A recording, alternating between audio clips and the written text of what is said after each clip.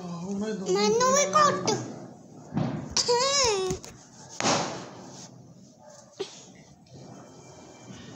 ਪਾਣੀ ਪੀਣਾ ਦਿਓ ਕਿ ਵੀ ਪਾਣੀ। ਪਹਿਲਾਂ ਮੈਨੂੰ ਦੇਣਾ। ਲਓ ਮੈਂ ਅਜੇ ਪੀਣਾ ਪਹਿਲਾਂ ਤੁਸੀਂ ਦਾਦੀ ਨੂੰ ਪਹਿਲਾਂ ਕਿਉਂ ਦਿੱਤਾ? ਪਹਿਲਾਂ ਤੁਸੀਂ ਮੰਗਿਆ ਸੀ ਨਾ ਦਾਦੀ ਨੇ ਪਹਿਲਾਂ ਮੰਗਿਆ ਸੀ। ਇਹ ਤਾਂ ਗੁੱਸੇ ਸੁਣਿਆ ਨਹੀਂ ਸੀ ਪਾਣੀ ਸੁਣੇ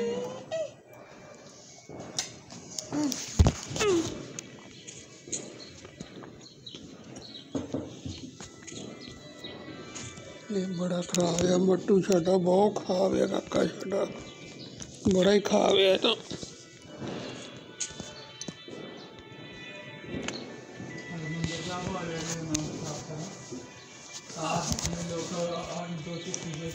ਹਰਮੰਦਰ ਸਾਹਿਬ ਵਾਲੇ ਦੋ ਕਹਿੰਦੇ ਦੀਵਾਲੀ ਤਾਂ ਮਨਾਉਣੀ ਹੀ ਨਹੀਂ ਹੈਗੀ। ਆਹੋ। ਬੰਦੀ ਛੋੜ ਦਿਵਸ ਮਨਾਉਣਾ ਹਾਂ। ਵੀ ਕਹਿੰਦਾ ਘੇਰ ਦੇ ਦੀਵੇ ਜਗਾਓ ਬਸ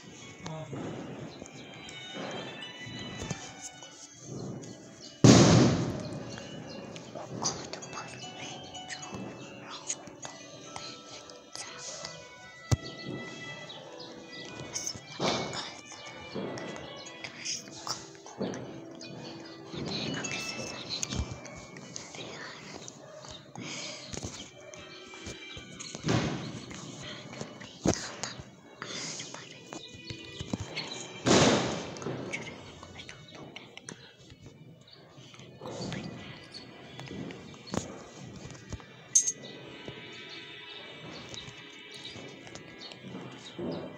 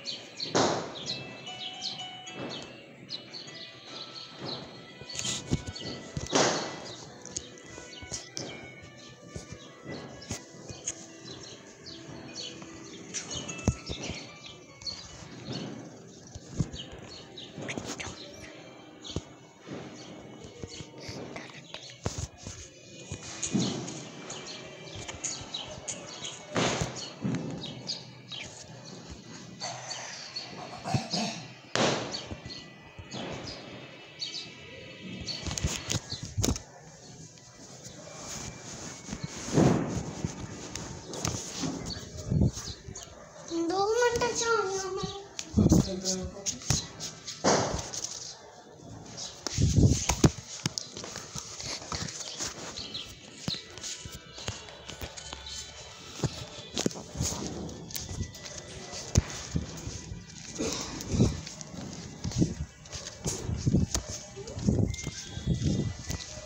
ਦੇਖੋ ਜਦੋਂ ਮੈਨੂੰ ਬੁਖਾਰ ਠੀਕ ਹੋ ਗਿਆ ਜਦੋਂ ਪਸੀਨਾ ਆਇਆ।